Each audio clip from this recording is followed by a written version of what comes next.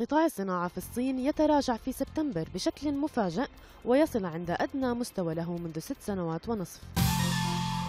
مخزونات النفط الأمريكية تهبط بثلاثة ملايين وسبعمائة ألف برميل الأسبوع الماضي وهو أكثر مما كان متوقعا.